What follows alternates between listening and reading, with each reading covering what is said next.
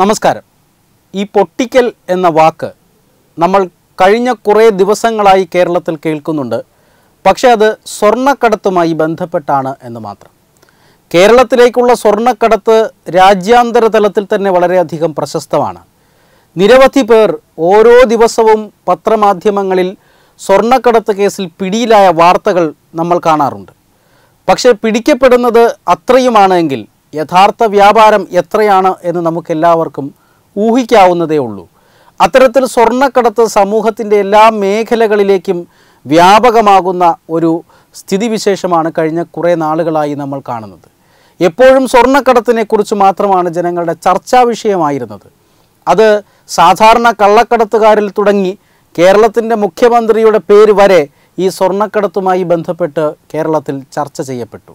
ഇതിൽ വാസ്തവമെന്ത് എന്ന് അന്വേഷണം നടക്കുകയാണ്. അന്വേഷണത്തിന്റെ അവസാനം ഇതൊക്കെ അറിയാമായിരിക്കും. പക്ഷേ സ്വർണക്കടത്ത് ഈ കേരള സമൂഹത്തിൽ വളരെയധികം ദൂരവ്യാപകമായ ഫലങ്ങൾ ഉണ്ടാക്കുന്നു.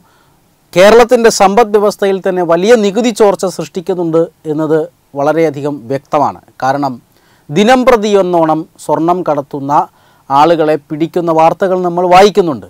അതിനോടൊപ്പം നമ്മൾ കഴിഞ്ഞ കുറേ കാലങ്ങളായി ചേർത്ത് വായിക്കാൻ തുടങ്ങിയതാണ് ഈ പൊട്ടിക്കൽ എന്നത്. സത്യത്തിൽ ഈ പൊട്ടിക്കൽ എന്ന് പറഞ്ഞാൽ സ്വർണം കടത്തിക്കൊണ്ടുവരുന്ന ഒരു സംഘം.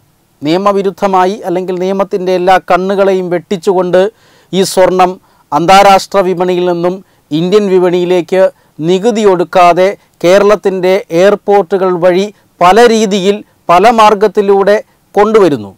ആ കൊണ്ടുവരുന്നതിനിടയ്ക്ക് അവിടെ നിന്ന് അയക്കുന്ന വ്യക്തിയെയും ഇവിടെ സ്വീകരിക്കുന്ന വ്യക്തിയെയും കബളിപ്പിച്ചുകൊണ്ട് മറ്റൊരു കൂട്ടം ഈ കടത്തു സ്വർണം തട്ടിപ്പറിക്കുന്നു.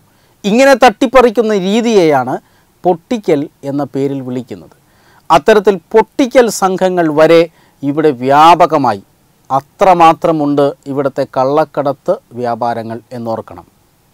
ഈ പൊട്ടിക്കൽ സംഘങ്ങളും യഥാർത്ഥ കള്ളക്കടത്തുകാരും തമ്മിലുള്ള സംഘർഷം തട്ടിക്കൊണ്ടുപോകൽ ആളെ തട്ടിക്കൊണ്ടുപോയി കൊല്ലുക നിരത്തുകളിൽ മത്സരയോട്ടം നടത്തുക ഇതെല്ലാം കേരളത്തിൽ പതിവായിരുന്നു. ഒടുവിൽ അത്തരത്തിലൊരു മത്സര ഓട്ടത്തിനിടയിൽ നടന്ന ഒരു വാഹന അപകടത്തിലാണ് നമ്മുടെ അർജുൻ ആയങ്കി അടക്കമുള്ള പൊട്ടിക്കൽ സംഘങ്ങളെക്കുറിച്ച് കേരളത്തിൽ ആദ്യമായി ചർച്ച തുടങ്ങുന്നത്.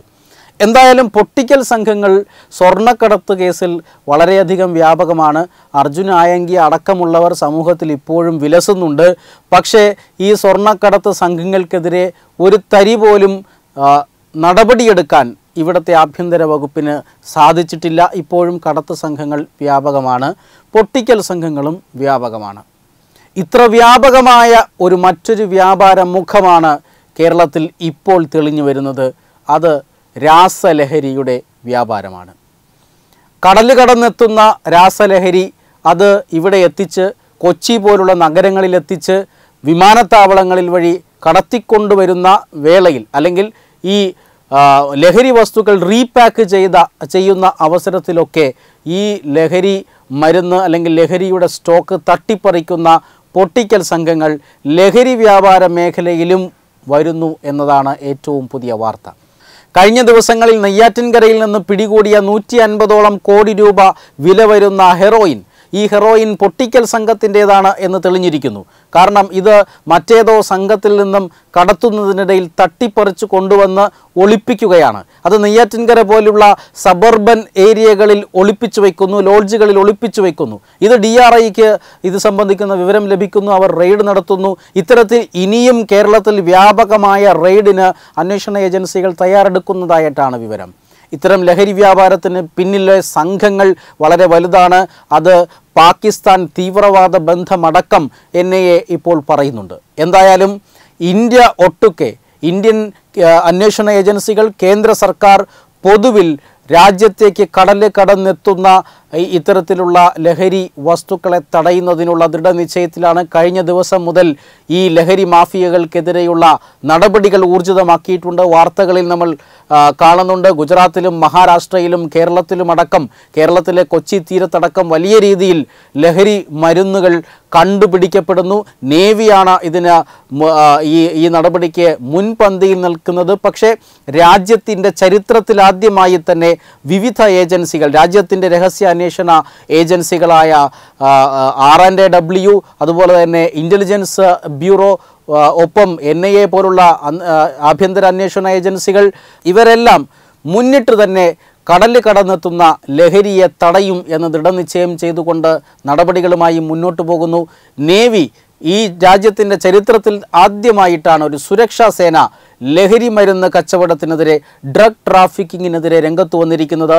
നേവി ഇപ്പോൾ കടലിൽ സമുദ്രാതിർത്തിയിൽ ഉടനീളം വലിയ നിരീക്ഷണത്തിലാണ്. വിമാനങ്ങൾ ഉപയോഗിച്ചുകൊണ്ടും ഹെലികോപ്റ്ററുകൾ ഉപയോഗിച്ചുകൊണ്ടും അതുപോലെ തന്നെ നിരീക്ഷണ കപ്പലുകൾ വരെ ഉപയോഗപ്പെടുത്തിക്കൊണ്ട് നേവി ഇപ്പോൾ കടൽ തീരങ്ങളിൽ നിതാന്ത ജാഗ്രതയിലാണ് പാകിസ്ഥാനിൽ നിന്നടക്കം അഫ്ഗാനിസ്ഥാനിൽ നിന്നും ഇറാനിൽ നിന്നും അടക്കമുള്ള ആഫ്രിക്കൻ രാജ്യങ്ങളിൽ നിന്നുള്ള ലഹരിയുടെ വരവ് തടയാൻ രാജ്യം ഇപ്പോൾ വിപുലമായ പ്രതിരോധ സംവിധാനങ്ങൾ ഒരുക്കി കാത്തിരിക്കുകയാണ്. പക്ഷേ കേരളത്തിൽ ഇത്രയും ജനകീയമായ രീതിയിൽ ഈ വ്യാപാരം വളർന്നിരിക്കുന്നു. പൊട്ടിക്കൽ സംഘങ്ങൾ ഉൾപ്പെടെ ഇപ്പോൾ ഇവിടെ സർവസാധാരണമാകുമ്പോഴും ഇവർക്കെതിരെ നടപടികളെടുക്കുന്നതിൽ കേരളത്തിലെ ആഭ്യന്തര വകുപ്പ് പരാജയപ്പെട്ടിരിക്കുന്നു എന്ന് തന്നെ കാണേണ്ടിയിരിക്കുന്നു. കാരണം കേരളത്തിലെ തൊഴിലില്ലായ്മയെയും കേരളത്തിലെ നിക്ഷേപരാഹിത്യത്തെയും ഒക്കെയാണ് ഇത്തരം മാഫിയകൾ ചൂഷണം ചെയ്യുന്നത്. പരിഹാരം അവിടെയാണ് വേണ്ടത്. വെബ് ഡെസ്ക് തത്തുമയി news. Powered by Demos furniture ലോകോത്തര ഫർണിച്ചറുകളുടെ വമ്പൻ അൺലോക്ക്